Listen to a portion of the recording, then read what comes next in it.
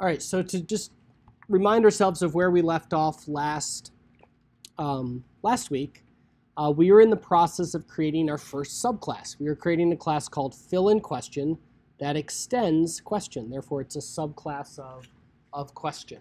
Um, what makes fill in question special, the um, extra behavior it has, is that the question text actually has the answer embedded in it. So here is the example. The inventor of Java is underscore James Gosling underscore. The answer is delineated by the underscore characters.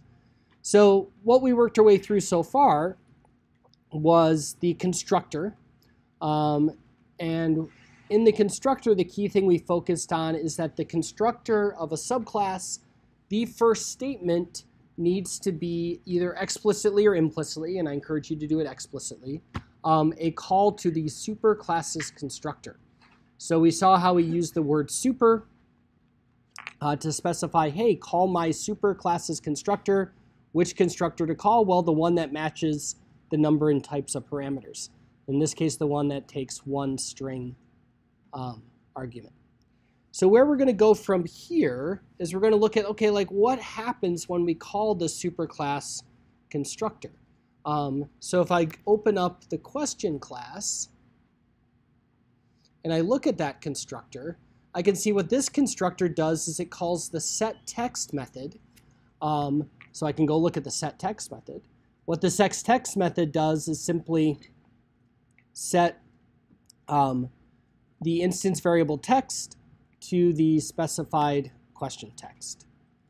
In our case, for our fill-in question subclass, this isn't the appropriate behavior um, because the answer is embedded within the question text. That would be a problem because then when like the toString method is called, it would actually display the answer along with the question, which isn't what we want.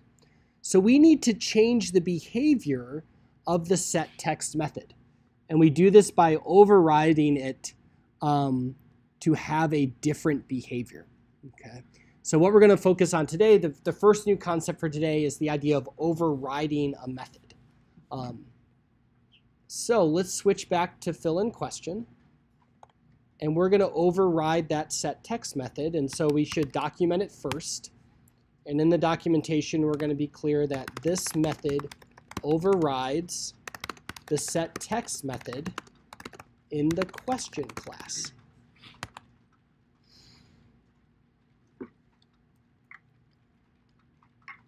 Yes?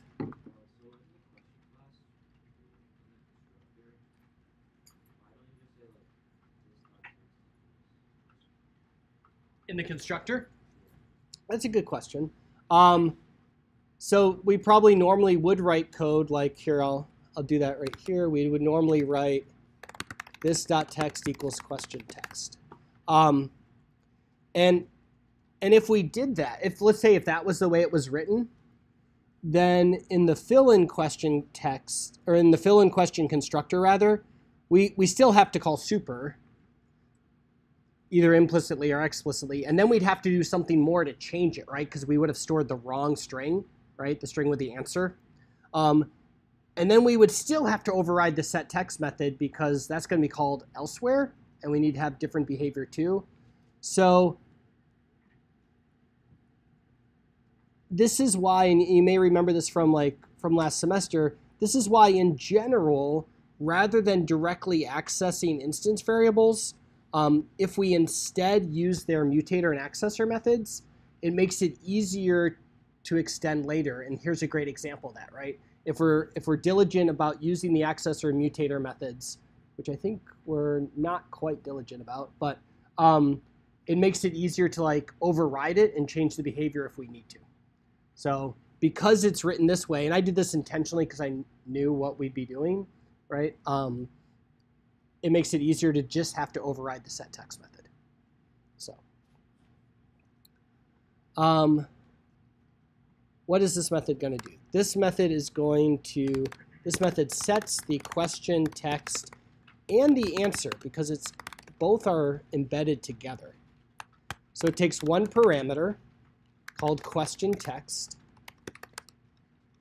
and this is the text of the question including the answer.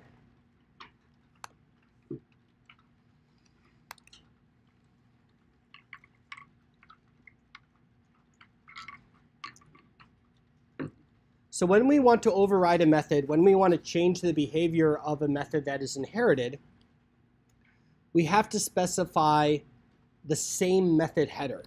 So what I mean by that is the method has to be called setText, but in addition, it has to have exactly the same number and type of parameters.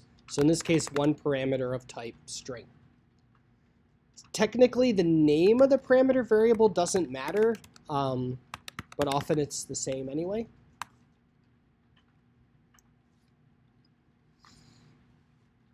So that's what it would look like to override the setText method. I want to clarify something here because this is a source of, of confusion. The word override often gets confused with a previous concept that we did last semester called overloading a method. So just to be clear about that, um, when we have a method in a subclass with the same signature, meaning method name and number and types of parameters, that's overriding the method. We're replacing its behavior with new behavior. Um, the subclass has different behavior than the superclass. If we have methods in a class with the same name, but different signatures, meaning the number and type of parameters are different, um, then we're overloading a method. And that can occur within a single class or that can occur within a class hierarchy, but that is when we want different methods that both can be called based on passing different arguments, which is totally different then we still just have one method, but its behavior is different based upon which type of object it's called on. Okay. Um, as an example of method overloading, to make this a little bit more concrete, the ArrayList class has the add method, and by default, and there's the add method that takes one parameter, which is just like the reference to the object you're adding to the list. Um, but there's also another version of the add method, an overloaded version of the add method, which has two parameters.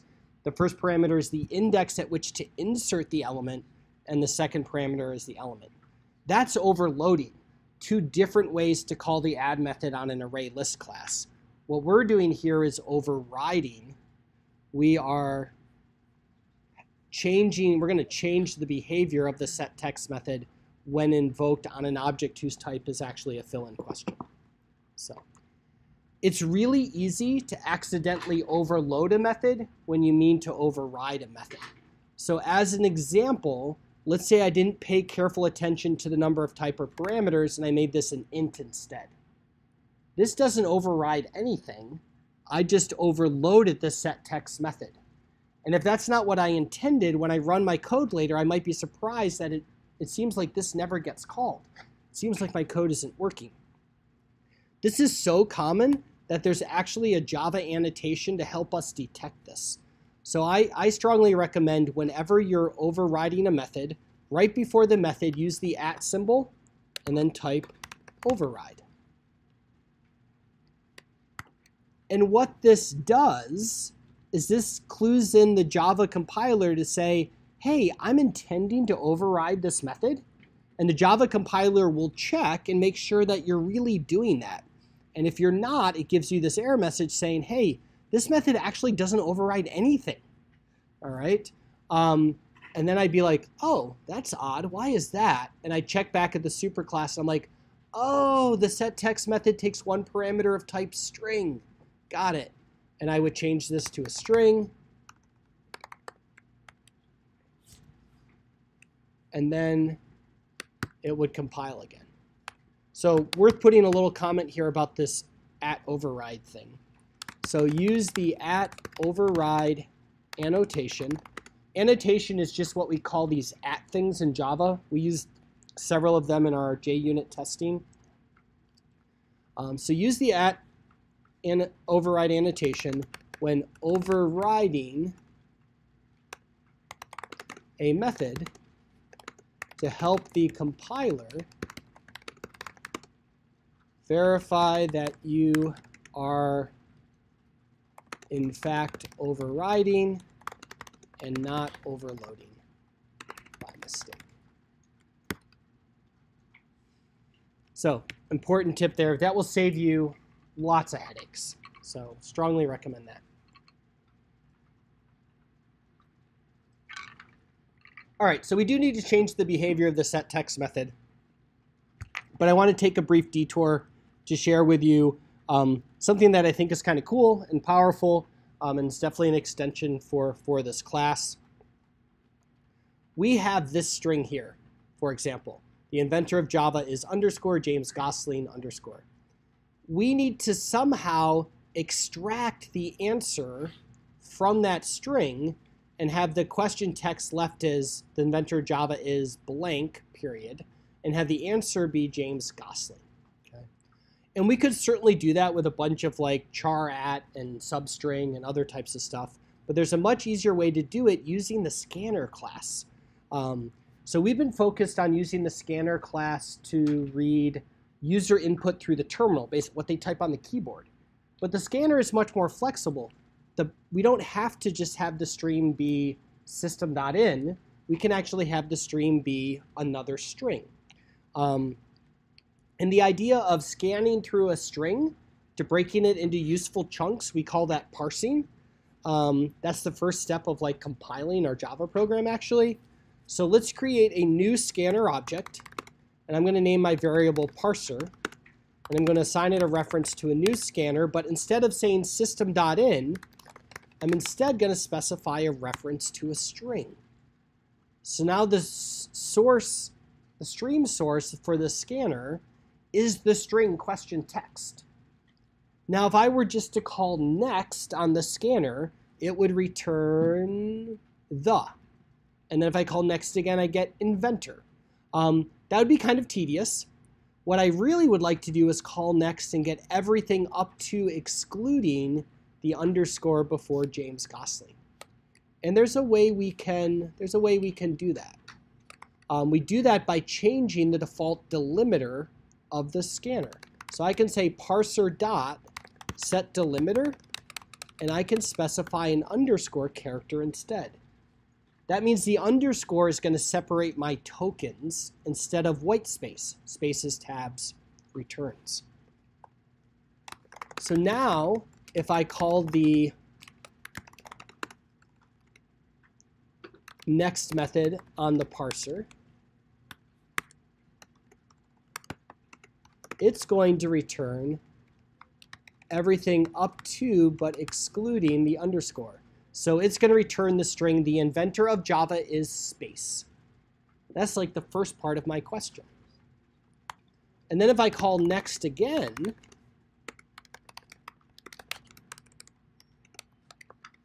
it's going to return everything from the underscore up to and excluding the next one. It's going to return the answer of just um, James Gosling. Uh, what did I misspell here? Oh, I'm sorry, it's not set delimiter. The method is use delimiter. There we go, that compiles. My mistake use delimiter. Finally, if I concatenate to the first part of the question, whatever is returned, actually first a whole bunch of underscores, I don't know, maybe six of them, and then whatever is returned from parser.next, that string will be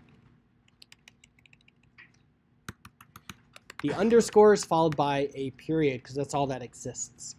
Now, all of this logic assumes that there's only two underscores in our question text, um, and, ex and exactly two, and that's I'm fine with that assumption. That'll be a limitation of this class. So by using scanner in this way and by using the use delimiter method, um, it's kind of cool, like it makes it relatively straightforward to extract the answer out of that question, which is neat. So I wanted to share that with you. All right, so that's our that's our little tangent. So now back to the the concept at hand, this idea of overriding a method. At this point, we know what the question text is. It's stored in the variable question. We know what the answer is. It's stored in the variable answer. So the natural thing to do would be say this dot text equals question, this dot answer equals answer.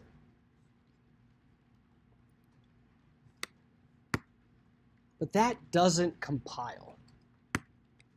We're told that text has private access in question, in the question class. Private, when we specify that an instance variable is private, that means that the only place we can access it is in the class that defines it. We can't access it even not even in subclasses. Okay. So when you run into this, you might be like, oh, so then I, you know, maybe do I use super in some way? Can I say super.text? Um, and that doesn't work either. We're going to get the same error. Um, so that's not working out the way we want what students often are tempted to do at this point, they're like, oh, it, it can't find text and answer, so I'm going to go up here to the top of my file, and I'm going to type private string text, private string answer, hey, and everything compiles, and all is right with the world. But it's not. That's why we wrote this comment here, okay? By typing these two lines of code, I just created a second instance variable text and a second instance variable answer. And the one I'm setting down here is the one for this class, but that means the one in the super class never gets initialized. And things are going to break in a really weird and confusing way. So do not do this. This is not how we solve this issue. So I'm going to delete this. Instead, the way we solve this issue, or first let's explain what the issue is. So a little comment block here. The inherited instance variables are private. They cannot be directly accessed. We must use the mutator and accessor methods. So I'm going to comment this out because this does not work.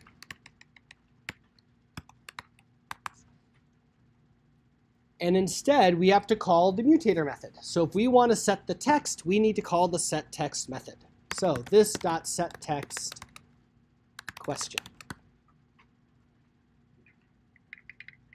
This should set off some alarm bells. Because we are in the set text method, and if inside that method we call this dot when the highlighted line of code runs, it's going to call this method again. We're going to do all this parser stuff, and then we're going to call the set text method again, which calls the method. We'll do the parser stuff again. We're going to call the set text method again. We just created an infinite loop of sorts, okay? That's not what we want. What we really want is we want to call this set text method. We want to call the set text method of our superclass that does have the appropriate access to set the text instance variable for us. The way we do this is by using the super reserved word again. We say super.setText. So we use the super reserved word to call the setText method as defined in the superclass. in this case, question.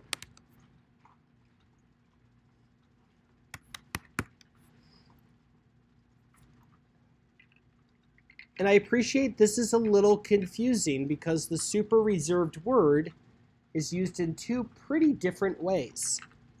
When we say super dot, we're saying call the superclasses version of this method on this object.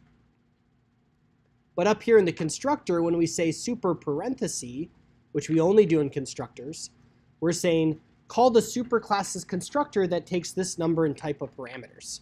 So the super reserved word is used in two different ways. Super parenthesis, constructor only, and super dot whenever we want to call a superclass methods implementation instead.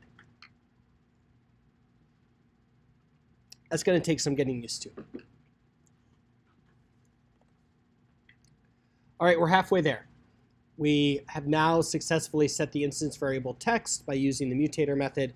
We also need to set the instance variable answer. Um, the recommended way to do this is to say this dot set answer answer. And a reasonable question might be, well, why wouldn't we say super dot set answer? We just said super dot set text. Um, and if we said super dot set answer, it would work, at least for now. Um, but we should use this reserved word to call the set answer method. And it does work, and this is why it works. If the subclass doesn't override the method, the super classes method will be called. So that's why it works. If we say this dot set answer and this class fill in question doesn't override set answer, it's just going to call the superclasses um, set answer method. But why is using this better than calling super? It's really because of avoiding issues in the future. So we don't want to use super in this case because if we later override set answer, the overridden method will not be called, would not be called.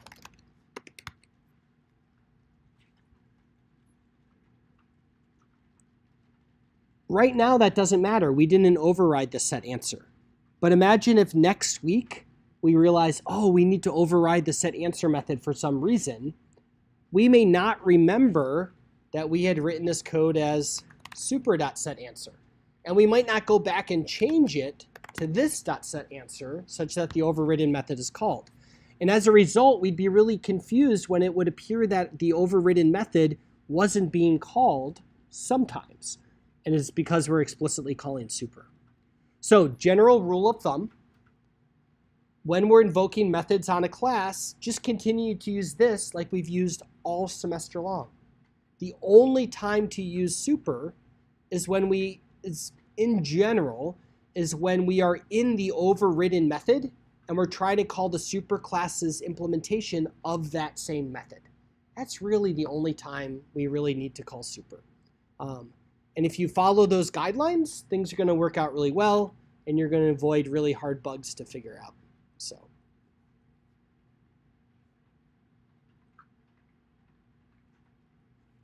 All right, so this should compile. Excellent, it does.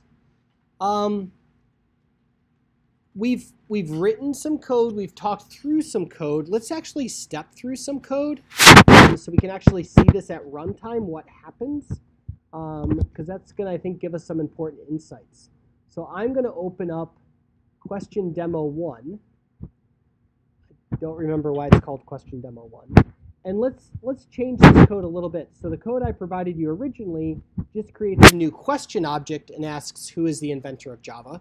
Um, let's refactor this to actually create, instead of a new question, let's create a new fill-in question. And let's specify as the parameter the string with the embedded answer. And then we can get rid of those two things.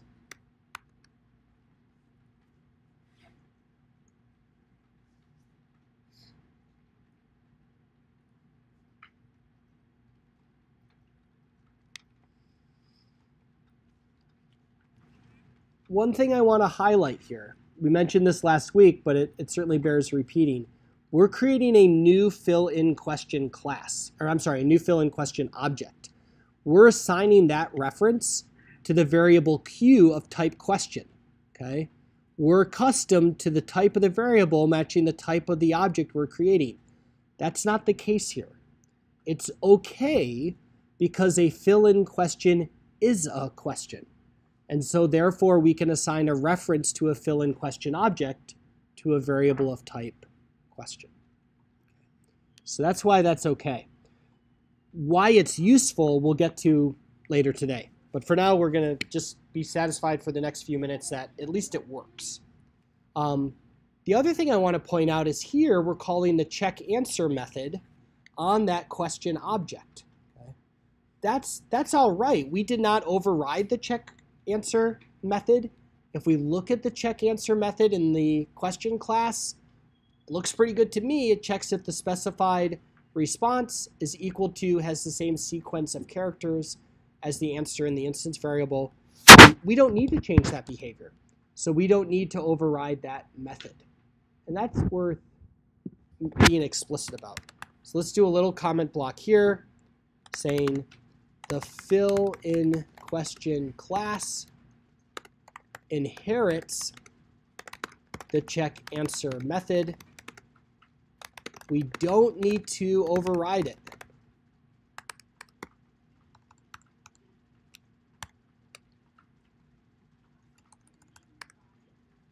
We don't need to override it because the inherited behavior is what is needed. We only override those methods whose behavior we need to change. Inheriting, oops, inheriting a method improves reliability.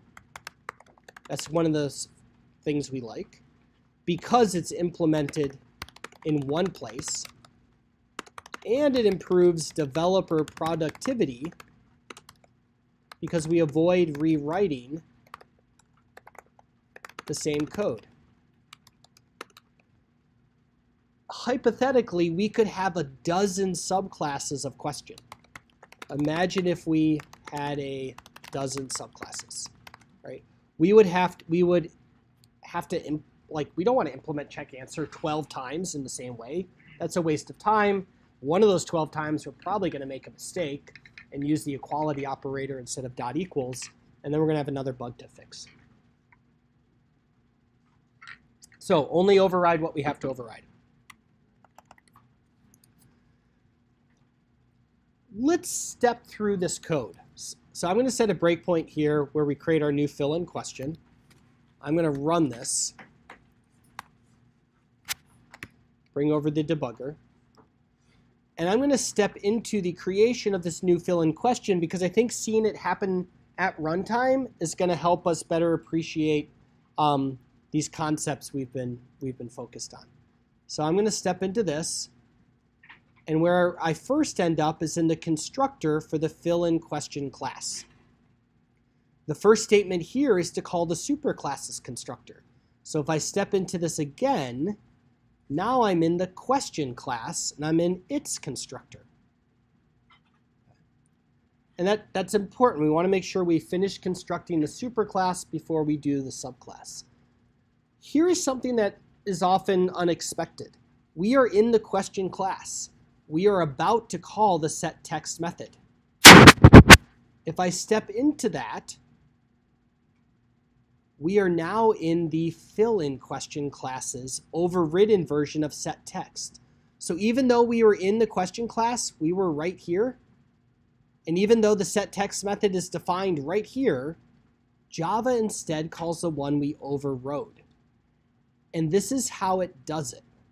What Java does is when a method is called on a variable, whether it's this or not, Java does what is called dynamic method invocation.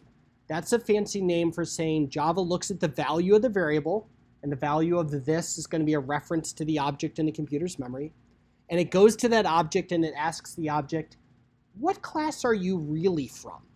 Yeah, I know the type is question of the variable, but what you could be some subclass. What type are you really? And the object responds, well, I'm really a fill-in question. And the Java runtime says, okay, let me go look at the fill-in question class and see if it overrides the method set text. Oh, it does. We're going to call that instead. And that's dynamic method invocation, and that's a really powerful feature of Java because the type of the variable at runtime doesn't determine which method gets called. It's the type of the underlying object. And we're going to leverage that in, in very powerful ways today and tomorrow. So I just wanted you to actually see that play out. So if I keep stepping through this, so here's all the scanner stuff. So we're going to use a different delimiter. I'm going to read the first part of the question. The inventor of Java is space. I'm going to read the answer. There's the James Gosling. I'm going to read the rest of the question and concatenate it. There's the blanks and the period. That looks really good. And here we're about to call the set text method, but we're saying super.setText. So in this case, we're being explicit. No, no, no, no. Don't call this overridden set text. Call the superclass set text. Sure enough, when I step in, we're in the superclass's version of set text. We initialize the instance variable as appropriate. Now we're back again. I never called, oh, there's set answer. Now we're back again and we're about to call set answer. When I step into this, again, it does dynamic method invocation. It asks the reference of the actual object. Hey, object, what type are you? says, I'm really a fill-in question object. It looks in the fill-in question class and says, did you override set answer? No, you didn't. So we're going to just call the superclasses version instead. And sure enough, we're in the question class and we're going to set the answer and that will be specified as appropriate. So simply in the context of going through this constructor, um, we were back and forth between the superclass and the subclass over and over again. And that's going to take some getting used to, right? There's a lot of, of nonlinear jumps here in terms of which methods are being called. So we're going to keep practicing that.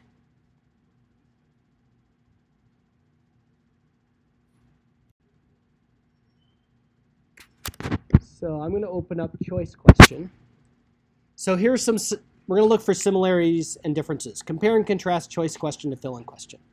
Choice question is also a subclass of question, and we see that by where we say choice question extends question. So that's a similarity.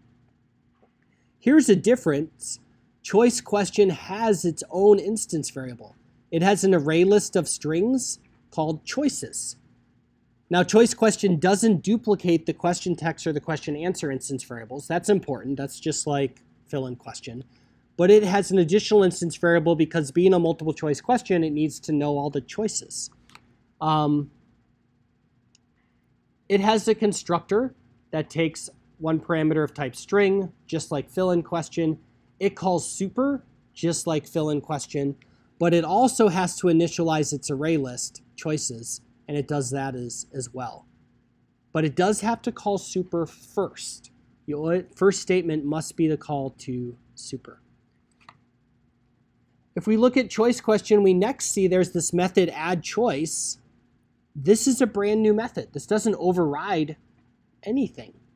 Um, the add choice method is a new method, and that's fine. Subclasses can declare totally new methods. Not everything has to be an overridden method.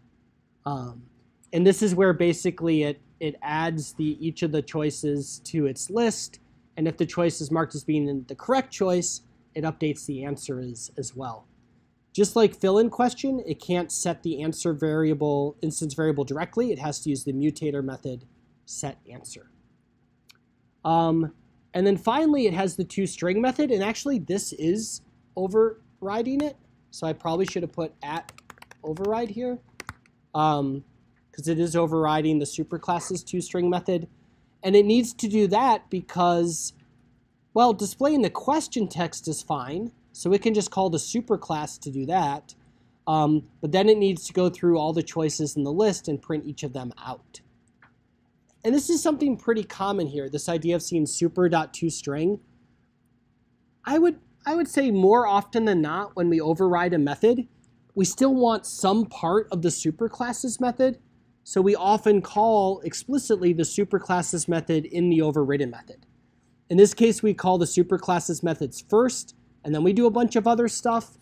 In the case of fill-in question, we did a bunch of other stuff, and then we called the superclasses method. Um, both, both occur, both are fine. It just depends upon the, the situation. Let's write a little bit of code about choice question in our demo class here. So let's actually create a new question q2 equals new choice question. Who founded Apple? And I'm going to make one minor change, and I'll put it back later. I just want to illustrate something to you all. Whoa, not that. All right, so back to the demo thing. Um, so we're creating a new choice question object. And I'm going to set a breakpoint on that because I want to step through the construction of, of choice question. So switching over to run this thing.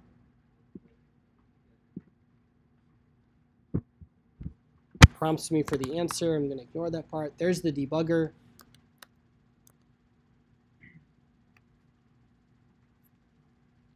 So what I want to show you is if we step into choice question, don't know why it's doing that. If we step into choice question, um, here we are in the constructor for choice question. I deleted the explicit call to the superclass constructor. Um, I did that just for a moment because I want to show you that even if we don't call super, there's no call to super here. If I keep stepping in, the Java runtime is still going to call the superclass constructor. It's just going to call the default constructor. And that may not be what we want. In this case, it's not because the instance variable never gets initialized. What's that? Well, like we didn't explicitly write this. There's still a default constructor. Like if we don't write a default constructor, Java writes one for us. Um, and the why does it do that? Because it needs to be able to call it if we have a subclass. So there, it's going to it's going to still do stuff. Probably not what we want. So again, my recommendation again, um, explicitly call that that constructor instead. All right, so I'm going to put that back. All right, let's go back to the demo though and actually add some choices to this. So we have new choice question, who founded Apple? Let's give it some possible answers.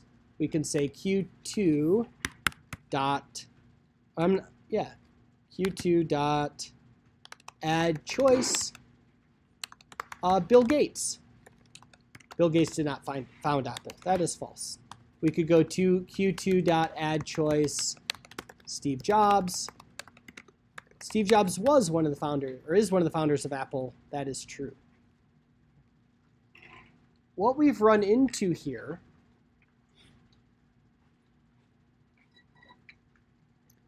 is an important difference between the Java runtime and the Java compiler. If we try to compile this, it doesn't compile. It says it can't find the symbol add choice. And the reason for that is what the Java compiler does and can assume versus what the Java runtime has access to. From a Java compiler perspective, when we call a method on a variable, when we call the method add choice on Q2, the Java compiler looks at Q2 and says, what type is it? It's a question. So then it's going to look in the question class and check, is there an add choice method in here? Hmm, no. Does this class inherit an add choice method? No, it doesn't. So this isn't going to compile. There is no add choice method defined. At compile time, there's no such thing as dynamic method invocation. We don't really know what value Q2 has right? In this case, we can kind of tell, it's pretty clear, but there are many, many cases when it's not. So if we want to call a method, the type of the variable has to have defined that method. So we're going to have to change question to choice question if we want this to compile.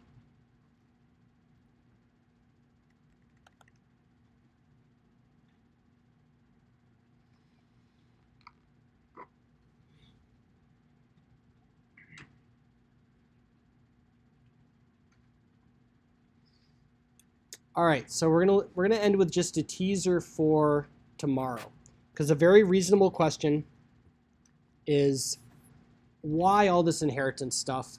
Why don't why wouldn't I make this a fill-in question? What is the value of being able to assign references to choice questions and fill-in questions to variables of type question? How does that actually help? So we're going to create a new class, and we're just going to write a few comments together. We're going to create an exam class. So, so go ahead and create a new exam class. And we're going to import a couple of things that we'll use tomorrow, but we might as well do it since we're right at the top of the file. Let's import java.util.arraylist. Let's import java.util.scanner.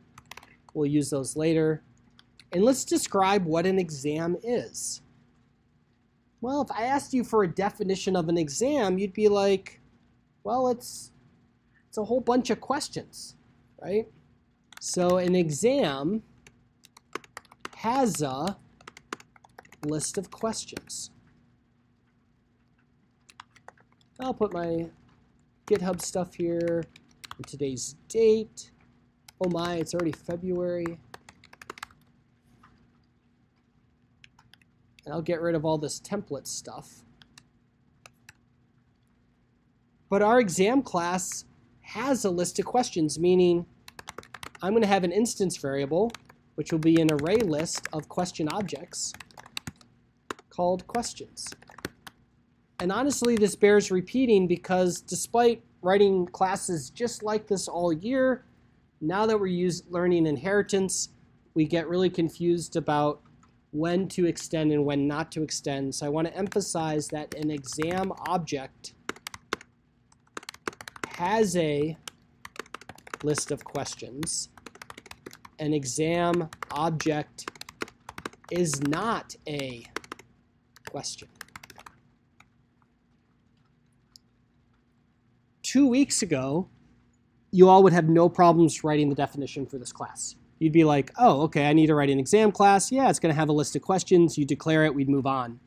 But now that we've learned about inheritance, until we get more comfortable with it, students want to make everything a subclass. And so a lot of students write public class exam extends question because everything else extends question, so this might as well too. But when we say extends question, that means that an exam is a question. An exam isn't a question. An exam has questions. So that's why we just say public class exam. We're not extending anything. Rather, it has an instance variable, which is a list of questions.